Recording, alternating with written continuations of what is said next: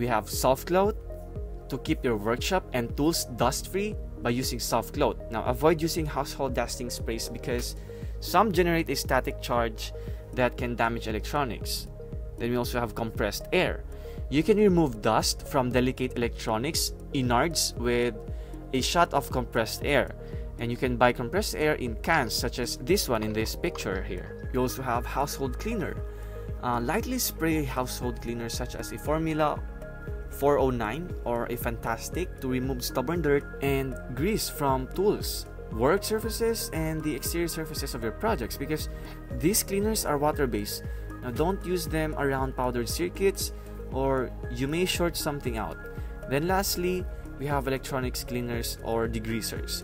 Use only a cleaner or degreaser made for use on electronic components when applying uh, directly on parts and circuit boards. And you can find the cleaner in a spray can and a bottle with a brush applicator. Now, some electronic parts, especially motors, requires a certain amount of grease or oil to operate. Now, be careful to not clean the grease or oil off these parts because they need it to function. If you must clean a part that requires lubrication, be sure to add a fresh oil or grease when you're done. Oil and grease to keep parts slippery. Electronics projects that use mechanical parts may require both initial lubrication and periodic re-lubrication. Case in point, a walking robot. The leg joints need a dab of oil now and then to keep things running smoothly. Whether you use oil or grease depends on what you're lubricating. For parts that spin, use a light machine oil, such as the kind you use for sewing machines or musical instruments. Avoid using oil with anti-rust ingredients because these ingredients may react to plastic parts and it may cause them to melt. And also for parts that mesh or slide, use a synthetic grease such as lithium grease. And you can buy both light machine oil and synthetic grease at any Radio Shack store and other electronic stores, as well as many music sewing machine, hobby, and other um, hardware stores. Now, a warning here is that some mechanical components don't require oil or grease, and in fact, some pieces can be harmed by lubricants. Certain self-lubricating plastics can actually break down if you expose them to a petroleum-based lubricant. So, unless you know for sure that a mechanical assembly or parts needs oil or grease, don't automatically apply it. If you're fixing some piece of electronic gear, such as a VCR or CD player, check with the manufacturer for instructions regarding use of lubrication. And there are actually two main reasons to avoid spray on lubricants. First is that you may have trouble controlling the coverage of the spray. The spray gets on a lot of parts that you don't want it to reach and it makes a big mess. And then lastly, many synthetic lubricants are non-conductive.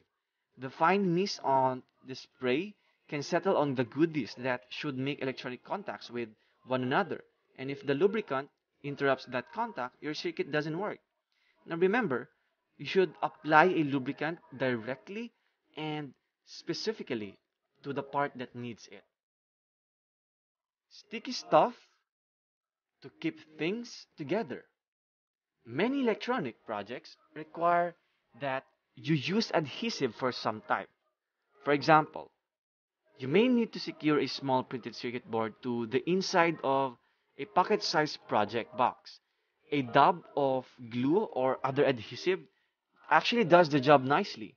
Now, depending on the application, you can use ordinary household glue, epoxy, cyanoacrylate glue, more commonly known as superglue, double-sided foam tape, or a hot melt glue gun. Now here's a rundown of the best uses of each of these adhesives. We have the White House Hold Glue, which is available on supermarkets, hardware stores, and home improvement stores. Household glue comes in small bottles and dries in 20 to 30 minutes. The glue takes about 12 hours to cure. However, white glue is actually best for projects that use wood or other porous materials. If you're using metal or plastic, opt for one of the other adhesive listed here. Then you also have epoxy cement. Now it comes in two tubes. to use uh, you use uh, mix equal parts of the tubes together and then apply the gunk to the parts that you want to stuck together most epoxies set up in 5 to 30 minutes and cure completely in about 12 hours epoxy bonds are strong and resist moisture then we also have cyanoacrylate glue bonds. Almost actually bonds anything. Almost instantly. Now these are known as I've said as a super glue. Now use it with caution because it can easily bond your fingers together. And use ordinary cyanoacrylate glues when bonding smooth and perfectly matching parts. Make sure to use a heavier bodied gap filling cyanoacrylate glue if the parts don't meet 100%. Then we also have double-sided foam tape which is a quick and dirty method of attaching parts.